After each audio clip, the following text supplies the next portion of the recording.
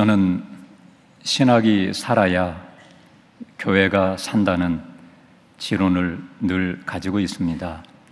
제가 2011년도 좀 일찍 노회장을 했습니다. 그때 코트디바를 가면서 제가 충격을 받았습니다.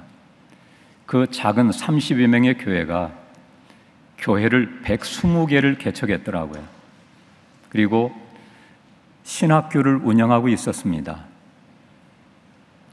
그래서 그때 당시에 총장님이셨던 김명용 총장님, 또 기획처장, 대협력처장이신 한국일 교수님, 김도일 교수님을 모시고 방문을 했습니다. 제가 코트디바를 네 번을 갔다 왔습니다. 너무 감동을 받아서 제가 노회장 때 노회 가서 그 교회를 121번째 교회를 개척해 드렸습니다. 또 지난 4월 달에 제가 태국에 있는 신학교들, 라오스 신학교를 돌아보면서 참 신학교가 얼마나 중요한지를 깨달았습니다. 태국이 우리 한국보다 20여 년 선교가 빠른 그런 나라입니다. 그런데 지금은 그 신학이 거의 죽어 있습니다. 그러니 목회 현장이 살아날 리가 없습니다. 또 라오스에서 있는 유일한 신학교 하나, 그 신학이 변변치 않지만 열정을 가지고 그들을 가르치는 그 신학교가 지금 이제 5회 졸업생을 배출했는데 이번에 저희 교회에서 그 졸업생 중에 한 명을 개척교회를 우리가 해드리면서 헌당식을 갔다 왔는데 지난 8월 달에 참 감동적이었습니다. 전기도 안 들어오고 무려 경운기를 타고 비포장도를 2시간 가서 왔다 갔다 하는 데만 8시간 걸렸습니다. 그런데도 그 목회자가 살아있는 그런 목회자가 있으니까 목회 현장이 살아나는 것을 보았습니다. 그러나 태국 그 교회가 선교사들이 엄청난 그런 재산들을 물려주었는데 현장으로 가지 않고 전부 기관으로만 가려고 하다 보니까 지금 신학도 죽고 결국 목회 현장도 죽는 모습을 보았습니다. 한때 미국 젊은이들이 이런 얘기를 했습니다. 예수는 좋다. 그러나 교회는 싫다. 그런 현수막을 교회 앞에 걸어 놓았다는 것입니다. 키에르케고로는 일찍 이런 말을 했습니다. 예수 그리스도는 물로 포도주를 만들었다. 그러나 교회는 더 엄청난 일을 했다.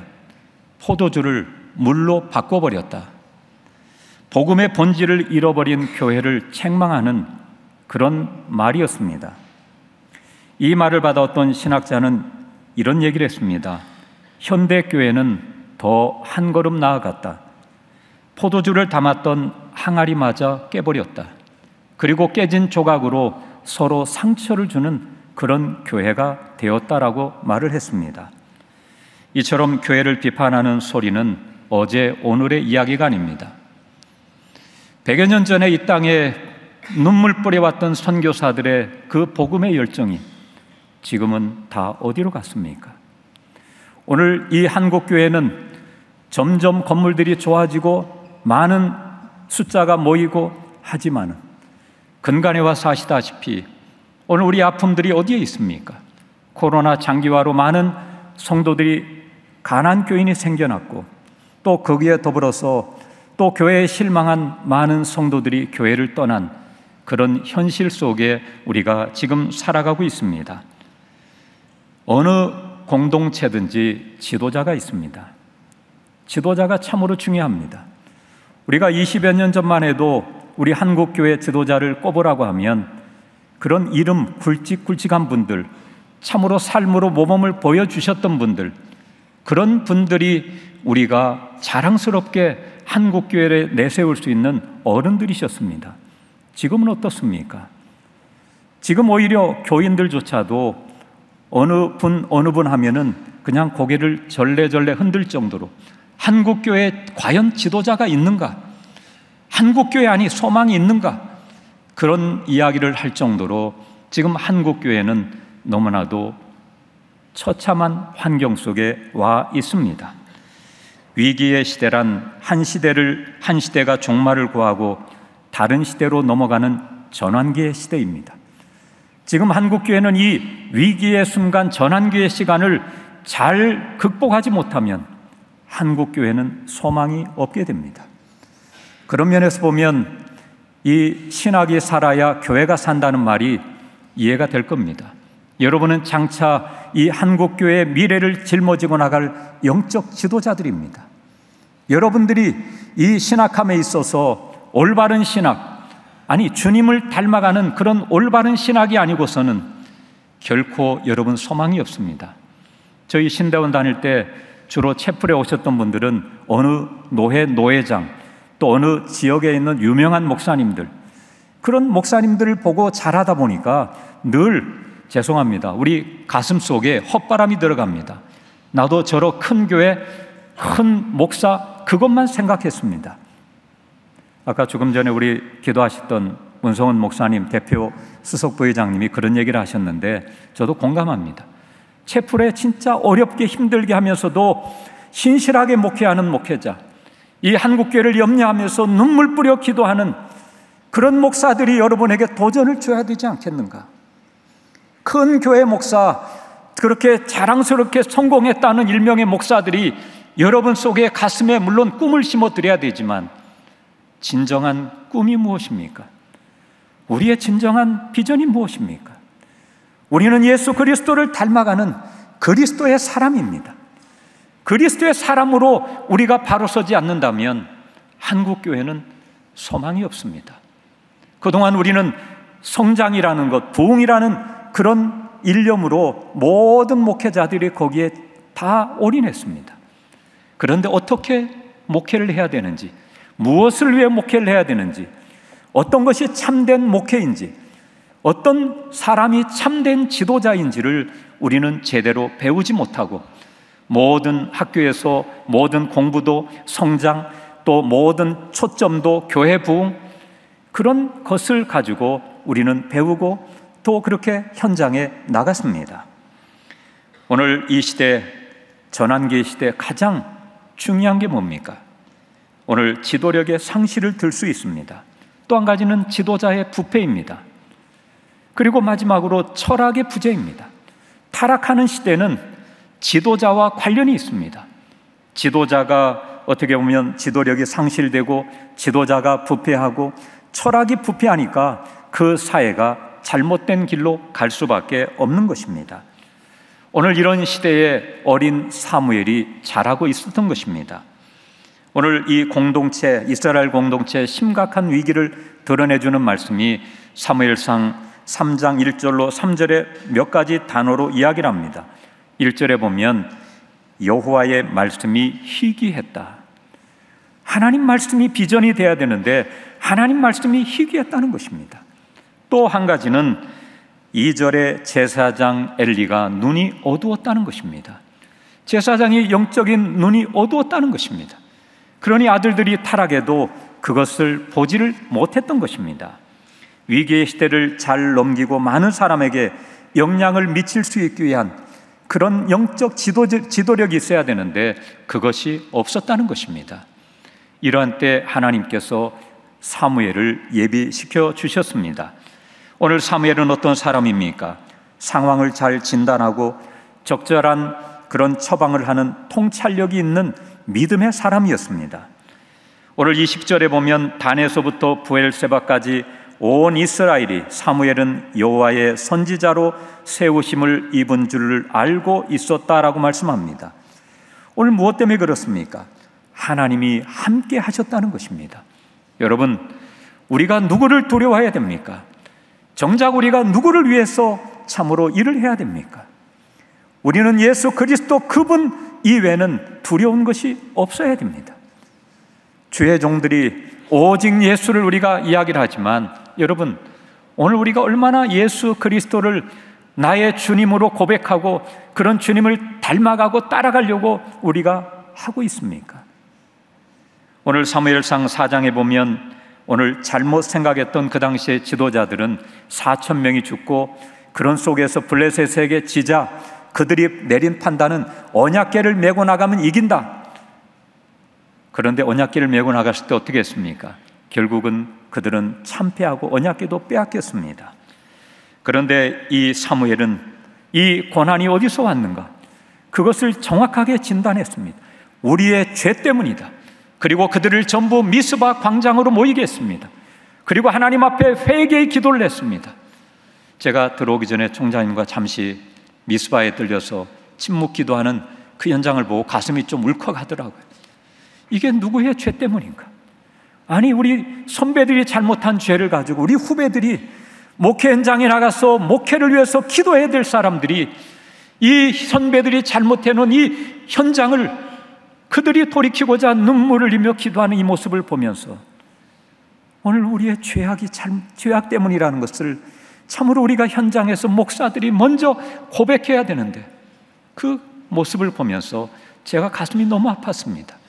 오늘 이 사무엘은 이 당시에 이스라엘의 잘못된 부분을 우리의 죄라고 하는 것을 분명하게 그는 고백하고 하나님 앞에 미스바로 모여 금식할 때 역사는 하나님이 일으켜 주셨습니다. 여러분, 일은 하나님이 하십니다. 우리가 할 일은 기도입니다. 기도할 때 하나님은 역사하십니다. 하나님은 살아 계시기 때문에 그렇습니다. 살아는 우리 장신 공동체 또 후배 여러분, 하나님은 지금도 분명히 살아 계십니다. 하나님은 우리의 기도에 반드시 응답하시는 분이신 줄로 믿습니다. 오늘 사무엘의 위대성이 여기에 있는 것입니다. 또한 두 번째로 사무엘이 전환의 시대를 넘기며 생명력 있는 역사를 이룰 수 있었던 일은 그가 올바른 신학도, 신앙도 중요하지만 삶으로 보여 주었다는 것입니다.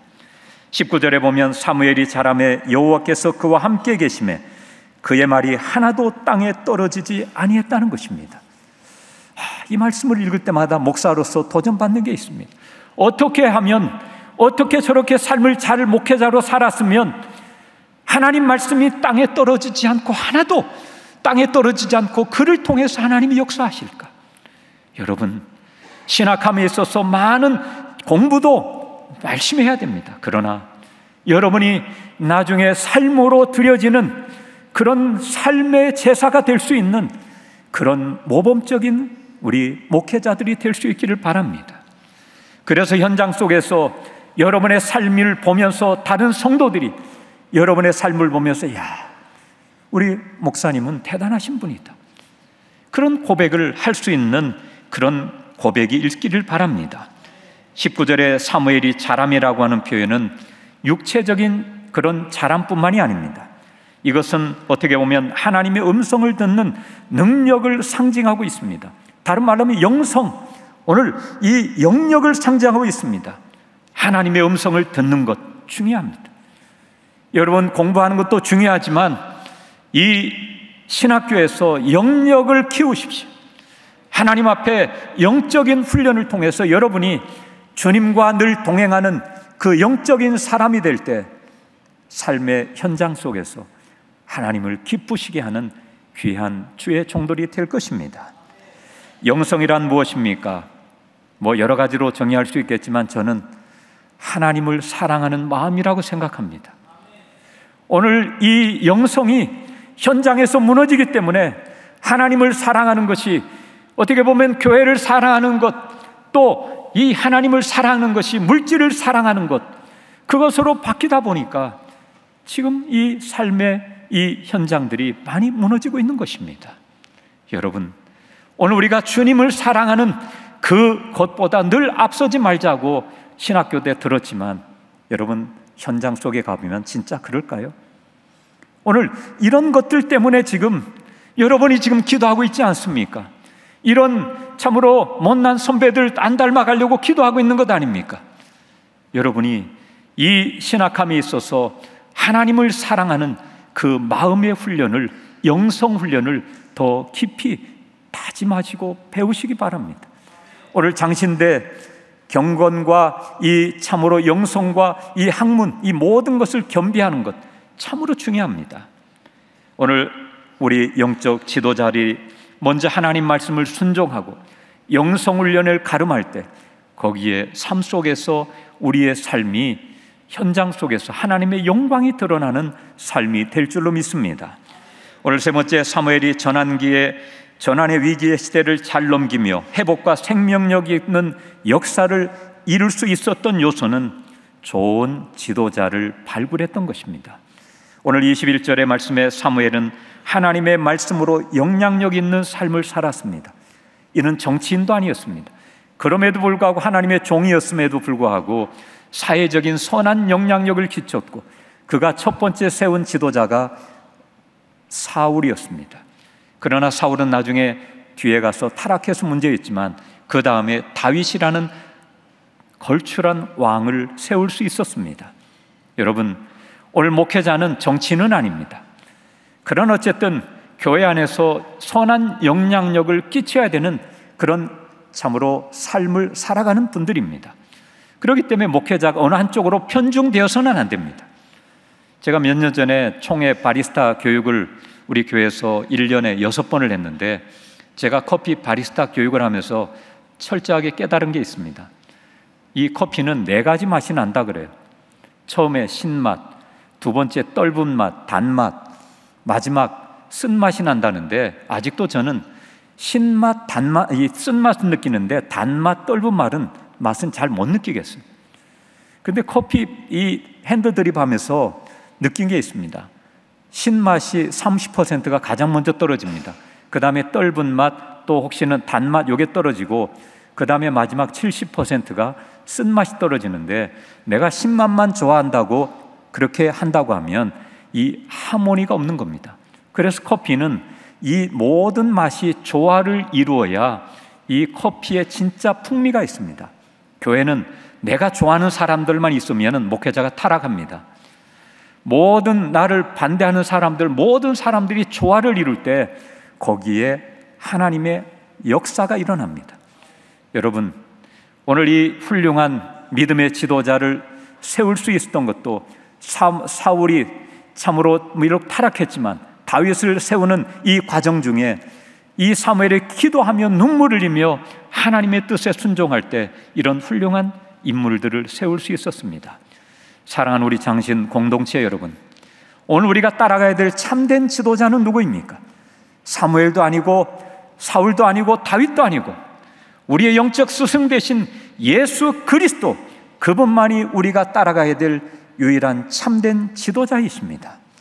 오늘 이 혼란한 시기에 위기의 시대에 우리가 따라가야 될 진정한 예수 그리스도 그래서 히브리서 기자는 오직 예수 그리스도를 바라보라고 말씀했습니다. 가장 원론적인 얘기 같지만 사랑하는 우리 장신 공동체 또 우리 하구 여러분 어떻게 보면 저에게는 후배 여러분 참으로 여러분 부탁드립니다. 오직 예수 그리스도 그분을 바라보고 참된 지도자 되신 예수 그분을 닮아가며 삶의 모범을 보일 때 여러분을 통해서 하나님의 영광이 드러날 것이고 한국 교회가 다시 회복될 것입니다. 또 우리 장신대를 통해서 한국 교회와 세계를 움직일 수 있는 변화시킬 수 있는 위대한 하나님의 사람들이 많이 일어날 것입니다. 그런 은혜가 우리 장신 공동체 위에 함께 하시고 이를 위해서 애쓰시고 수고하시는 우리 교수님들에게 더욱더 성령의 충만한 지혜를 부어 주시고 지혜의 영을 주셔서 우리 신학생들을 사명감을 가지고 가르치시고 우리 직원 한 분 한분 이런 교수님과 또 우리 신학생들을 뒤에서 참으로 뒷바라지할 때 하나님께서 예수 그리스도의 첫 번째 기적을 맛보았던 그런 물떠온 하인들의 기쁨을 맛보기를 바랍니다. 앞으로 우리 장신 공동체를 통해서 다시 소망은 있습니다. 앞으로 여러분을 통해 산국계를 다시 일으킬 수 있는 그런 지도자들이 되셔서 오직 예수 그분을 바라보며 승리하며 살아갈 수 있기를 간절히 바랍니다. 생명의 주가 되시는 만군의 아버지 하나님, 오늘 우리의 참된 영적 스승 되신 예수 그리스도 그 주님을 따라가며 바라보며 승리하는 위대한 하나님의 사람들이 이 장신 공동체에서 많이 나오게 하여 주옵소서 예수님 이름으로 기도합니다. 아멘.